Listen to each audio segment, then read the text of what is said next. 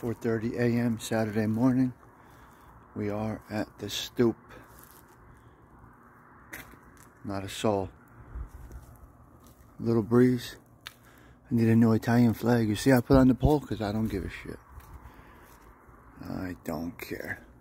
That's the stoop right there. That's a true stoop. Alright? We don't fuck around. It's a true stoop. I am the Pope and this is my village.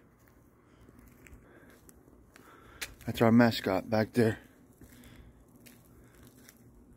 People fucking walk by, they get scared. That's great. They walk by the bushes like this.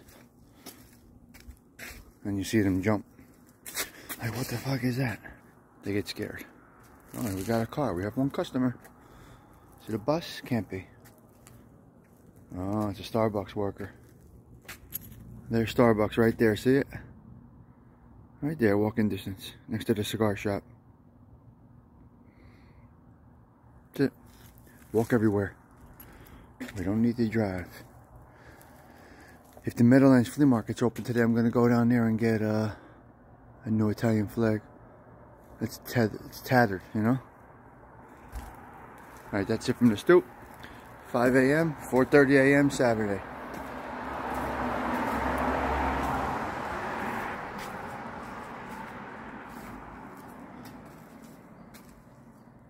We mix and match. It doesn't matter.